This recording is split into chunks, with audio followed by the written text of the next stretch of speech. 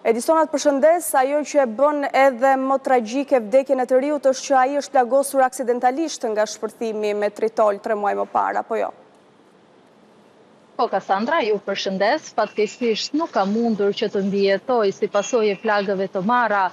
gjatë shpërthimit me tritol në banesën ku ai jetonte dhe ka ndërruar jetë mëngjesin e sotëm, vetëm njëzet e nëntë vjeç dhe, siç e thatë edhe ju, ajo çka e bën më të rëndë këtë ngjarje është fakti se ky i ri ka qenë krejtësisht i pafajshëm, është ndodhur thjesht në momentin e gabuar dhe në kohën e gabuar në vendin kur ndodhi edhe shpërthimi në banesën e motrave Nikolli, të cilat tashmë janë larguar nga banesa ku jetonin më parë dhe sipas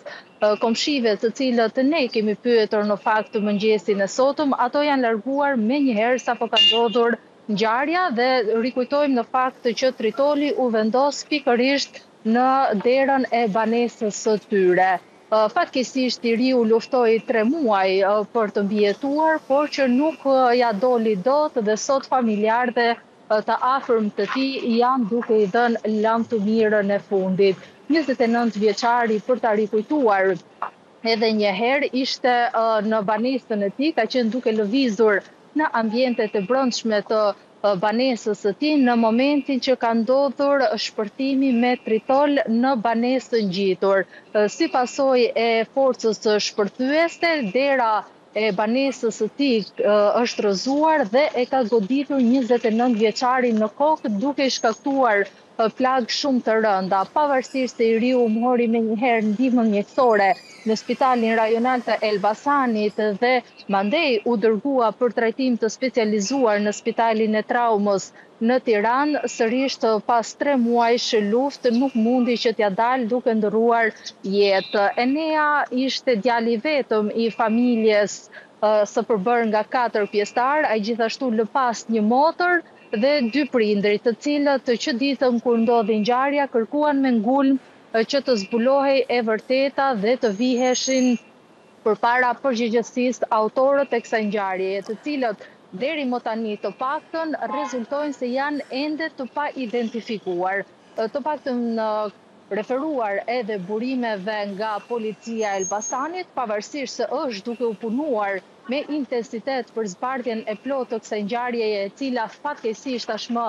ka përfunduar me humbjen e jetës së një të riu, sërisht nuk janë identifikuar personat apo personi i cili mund të jetë përgjegjës për këtë ngjarje që tashmë konsiderohet një krim i rëndë, duke qenë se ka lënë pasoja në jetë njerëzish. Policia në fakt që ditën kur ndodhi ngjarja ka sekuestruar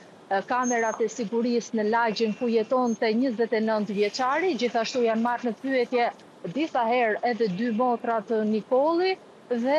është duke vijuar në fakt hetimet për zbardhjen e plotë të kësaj ngjarjeje e cila e ritheksojmë edhe një herë fatkeqësisht përfundon me humbjen e jetës së një të riu i cili ishte krejtësisht i pafajshëm dhe nuk kishte asnjë lidhje me këtë ngjarje të rëndë. Tritoli apo sasia e lëndës plasëse ishte vendosur në derën përballë, që i përkiste banesës së marrë me qira nga motrat Nikolli dhe nuk kishte asnjë lidhje me njëzet e nëntë vjeçarin. Ai mori plagë të rënda, të cilat në fund i shkaktuan edhe vdekjen. Ndaj sot fatkeqësisht ky i ri përcillet për në banesën e fundit. Edisona, pra jemi tre muaj pas shpërthimit me tritol, kemi fatkeqësisht një viktimë nga ky shpërthim edhe pse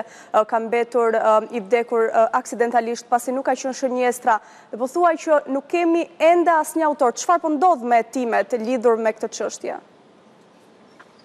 Që ditën kur ndodhi ngjarja në fakt, policia dhe grupi i hetimit i ngritur për të hetuar këtë rast të rëndë ka bërë të mundur sekuestrimin e kamerave të sigurisë në lagjen ku ndodhi ngjarja, por që rezulton se autori i cili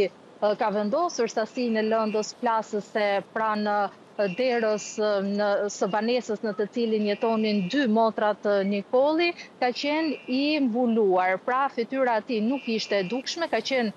i mbuluar me rroba të cilat nuk e lejonin identifikimin, ndaj është bërë e vështirë identifikimi dhe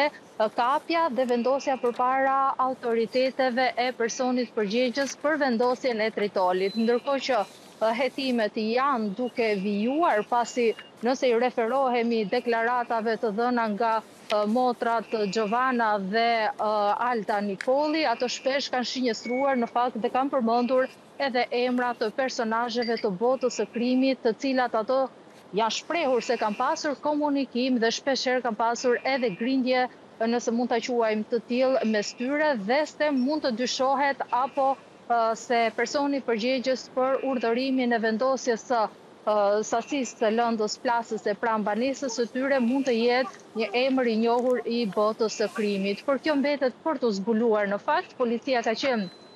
rezervuar sa i takon dhënies së informacioneve në lidhje me këtë ngjarje, pasi duke qenë se autori ende nuk është vënë në pranga, mbetet e vështirë edhe sa i takon dhënies së informacioneve për publikun. Ndaj po punohet në fakt nga grupi i hetimit i ngritur dhe i drejtuar tashmë nga Prokuroria e Elbasanit në lidhje me këtë ngjarje, por që